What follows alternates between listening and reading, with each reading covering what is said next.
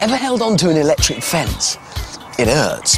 Farmers use electric fences to keep cattle in and foxes out. If an animal touches the fence, it gets a shock and it runs away. Today, by holding on to this fence designed to shock horses, the Brainiacs are going to learn all about electricity. This Brainiac is going to touch the fence and get an electric shock.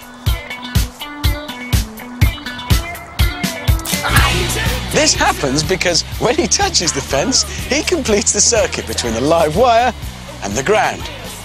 The charge goes from the fence itself into the Brainiac, through the Brainiac's body and down into the ground. Then it goes along the ground into the earth stakes, along the earth wires and back into the unit to complete the circuit. Ouch! And it hurts.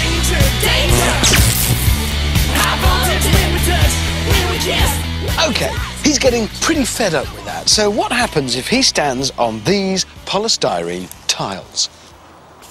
Brainiac, touch the fence. The electricity won't pass through the Brainiac's body because it can't go through the polystyrene tiles to the ground to complete the circuit because they're a good insulator, so no shock. Off the tiles. Shock. On the tiles. No shock. Off the tiles. Shock.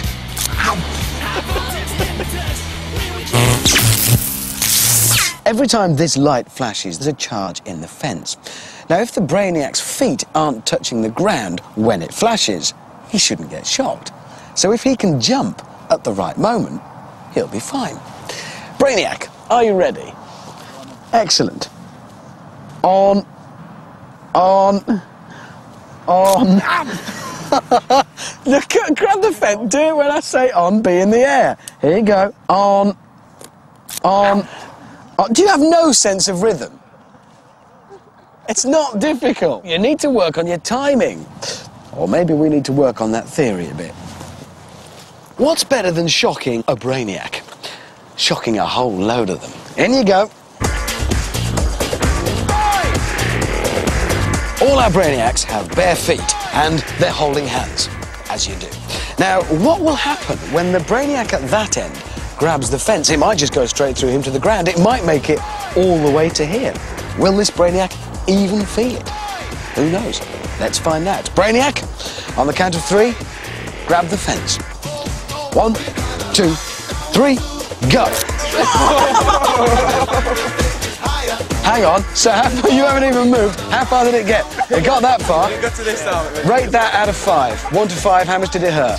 Two. Two. One to five, how much did that hurt? Four. Four. Right. Change order and let's do it again.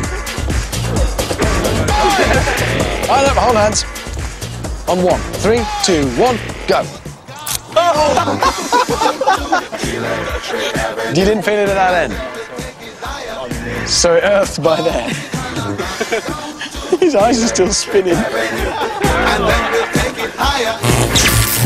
It seems that the current has never got past this Brainiac here. So maybe he has unique insulating properties. Who knows? There's only one way to find out. Stick him on the end. On you go. You go and grab the fence, and on my count. Ready? Three, two, one, go. Whoa, now that went further.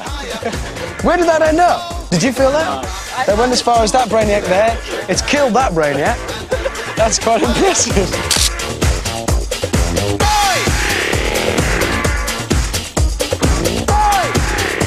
Right, new theory. What happens if we insulate, using these polystyrene tiles, all the brainiacs along the line, apart from the one on the end?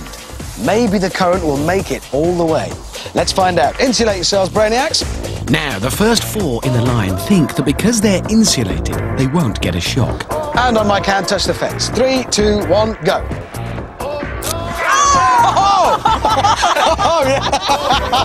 wow! Well, that really works. Because you were insulated, it earthed here, so for the first time, the current made it all the way to the very end. You all got a shock, and that looked quite severe at this Yeah, end. that hurt. Because they were all holding hands, the current travelled along the line to find the Earth via our uninsulated Brainiac, giving everyone along the way a shock.